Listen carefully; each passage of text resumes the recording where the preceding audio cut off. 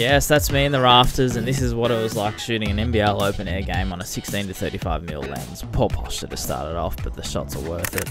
Uh, and here I get in the way of another photographer. 20 stores nationwide. Specialist trade Can I have that photo? Look at the blue sky here, and then we've got people in the crowd. Yes, hello, give them a wave. Uh, got to get the low angles right next to these players. I loved having the wide lens for this one. It was the first time I've actually used it.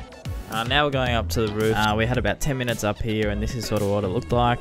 Camera, these lights are annoying to get the shots through, but yeah, sort of squeeze through and not drop the camera. But once you're up there, it was great. Uh, this view sort of gives you a better idea, although it looks makes my forehead look bloody weird. Uh, yes, good focus, concentration, and these were some of my favourite shots.